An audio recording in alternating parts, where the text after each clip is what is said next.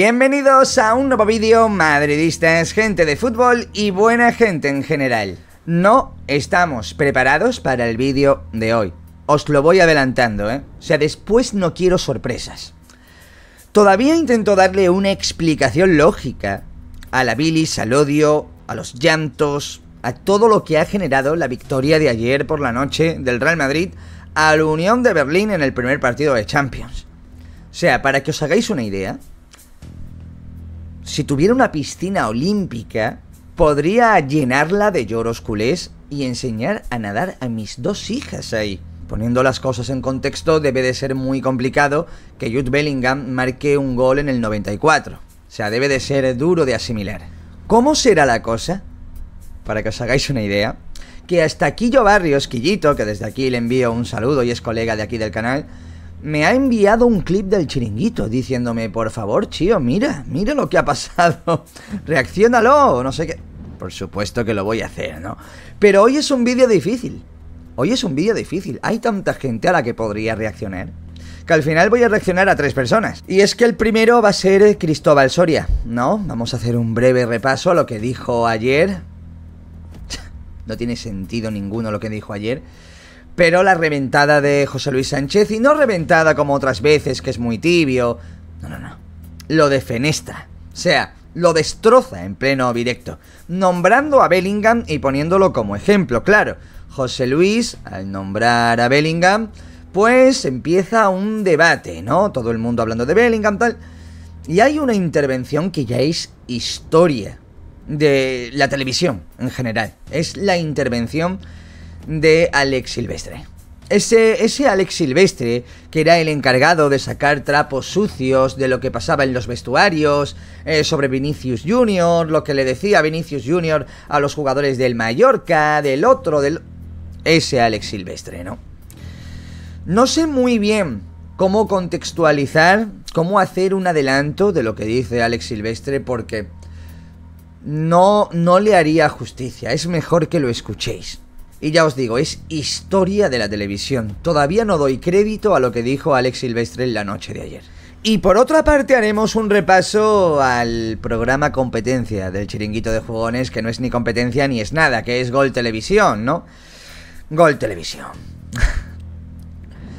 ¿Os acordáis de Víctor Lozano? ¿Os acordáis que le hicimos un vídeo por el tema Arda Guller y demás?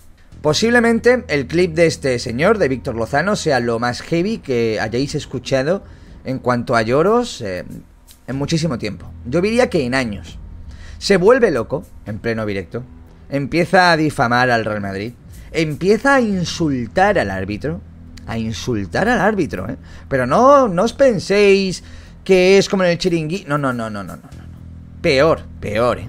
Os lo puedo asegurar que hay insultos, hay descalificaciones, hay acusaciones al Real Madrid, hay absolutamente de todo. Es una de las cosas más heavies que he escuchado en muchísimo tiempo por una victoria del Real Madrid al Unión Berlín. Es, es, ya os digo, muy fuerte y lo mejor que, que puedo hacer yo ahora mismo es callarme y que lo veáis.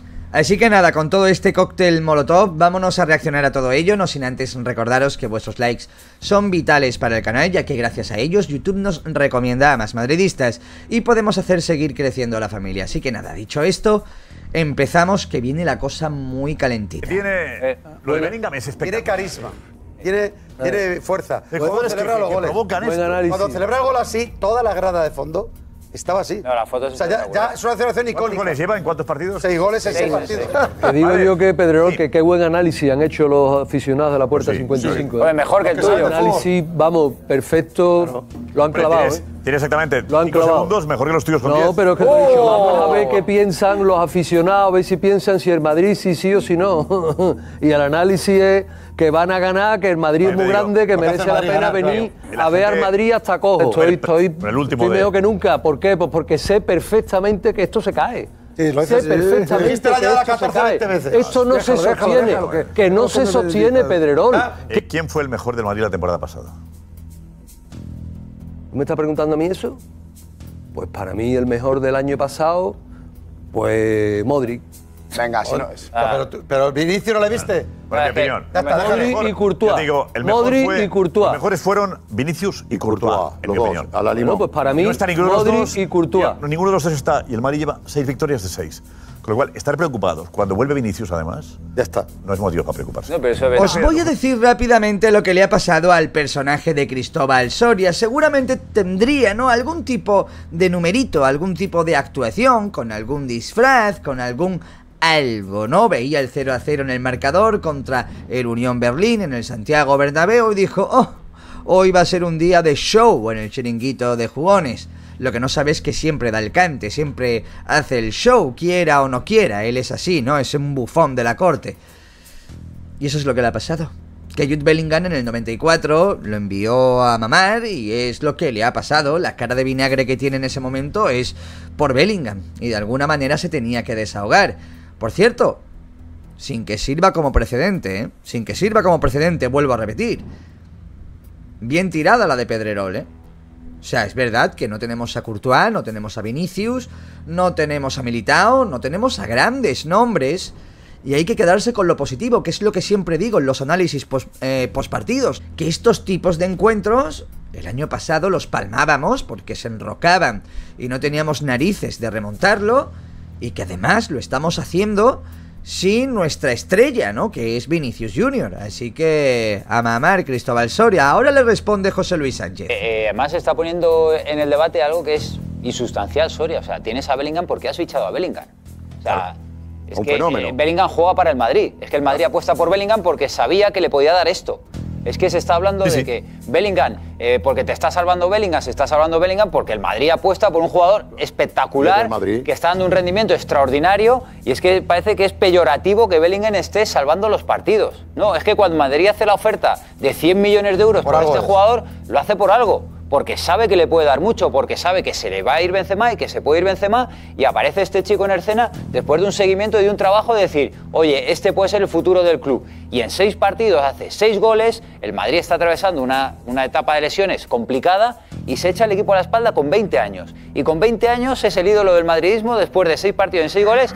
Su primer partido de Champions decide, en Liga está Pichichi y lo estáis poniendo aquí como si fuera, es que tienes a Bellingham y Bellingham te está salvando. Es que Bellingham hasta hoy por lo menos juega con el escudo del Madrid. A ver, es que esto ya, esto ya roza la esquizofrenia o la locura. O sea, quejarte porque un equipo gana. Porque un jugador de ese equipo gana los partidos. ¿Qué es? ¿Un nuevo deporte nacional? A ver quién hace más eh, estupideces, quién dice la estupidez más grande, por así decirlo. Es como decir, no, el Real Madrid ganó la Champions de la décima por eh, Sergio Ramos. O la 14 la ganó por Karim Benzema. Pero vamos a ver, eh, esos jugadores a quién representan. Al Real Madrid, ¿no? Para algo los ha fichado, para algo están en el equipo. O sea, qué tontería tan grande. ¿Por qué el Barcelona de Messi, de Neymar, de Ronaldinho y todos estos han ganado tantas ligas? Pues porque obviamente tenían al mejor jugador de la historia de su club eh, en ese momento, que no podía ser otro que Negreira. Chico, tú cuando fichas a alguien, cuando fichas a alguien quieres resultados y ahí la verdad que atinó muy bien el Barça. Oh.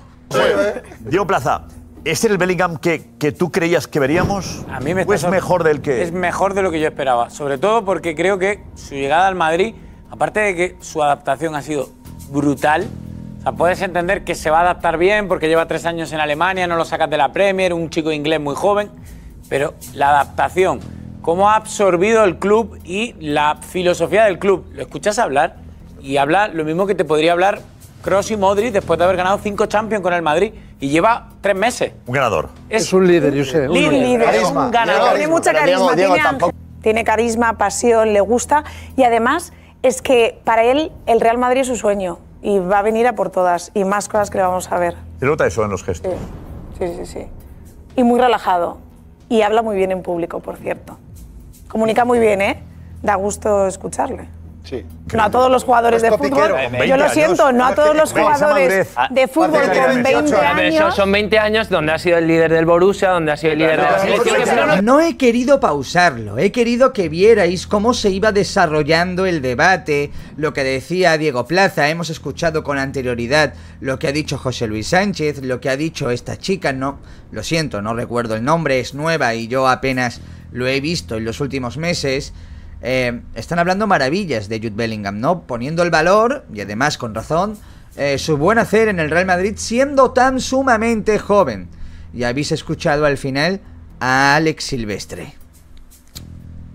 Disfruten. 20 años donde ha sido el líder del Borussia, donde ha sido el líder de la selección. que- no, no, que por eso, 20 años que esa madurez ahora nos sorprende por, porque, porque ha sido el líder de, de- Sí, sí, de una selección 20 años como la tiene- Inglaterra y el sí, Borussia. 20 que es mérito de liderazgo en un equipo. Tienen los mismos años, 20 y 20. Tiene más mérito lo de Javi Guerra porque él no había estado en la élite, él jugaba en, en primera red y, y- y Bellingham viene a jugar de ser líder de la selección inglesa y el Borussia de Dortmund. Por eso digo que no es por barrer para casa, pero ahora mismo, No, no, eh, no, para no, estar no. en primera división, No, no, me no. parece muchísimo, colega, ¿no? Muchísimo colega, más Javi Guerra, importante ¿no? y más difícil el ¿Eh? mérito que está teniendo Javi Guerra dentro de un equipo Hombre. donde pelean por el descenso la temporada pasada y es el líder con 20 años. Tu coleguita, ¿no?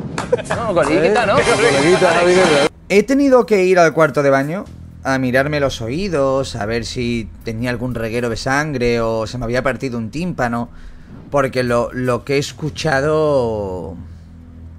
O sea, Javi Guerra tiene más mérito, ¿no? Que Jude Bellingham, porque, claro, se ha tenido que hacer un hueco a raíz de jugar en primera RFF, estar en un equipo que estaba en descenso el año pasado. Y claro, es que Bellingham eh, viene de ser uno de los jefes de la selección inglesa y del Borussia de Dortmund. Y tienen la misma edad. Pues hazte la siguiente pregunta, Alex Silvestre.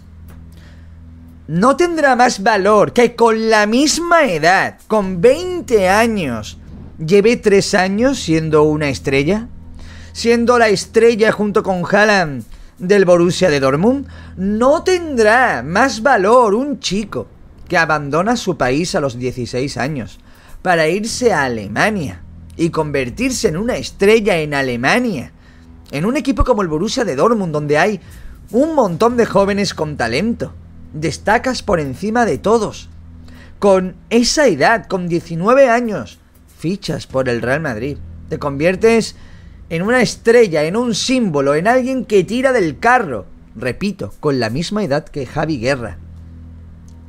¿Y me estás diciendo que tiene más mérito el jugador del Valencia? Porque salió en un momento de flaqueza de tu club cuando estaba totalmente hundido en la clasificación y Baraja lo tiene que poner por fuerza mayor y oye, mérito de él quedarse en el equipo. Pero chico, compararme Javi Guerra con alguien que desde los 16 años ha luchado por su sueño y que lo ha cumplido prácticamente todo, que es internacional con su país, que ya ha jugado un mundial, que fue el mejor de su equipo en el mundial. Por el amor de Dios, es que nos toman por lelos. ¿Nos toman por lelos? ¿Me estás comparando a Javi Guerra con todos mis respetos a Javi Guerra? Que no tengo ningún problema contra él, o sea, nada, cero. Tiene mérito lo que hace, por supuesto. Todos los jugadores que están en primera división tienen mérito.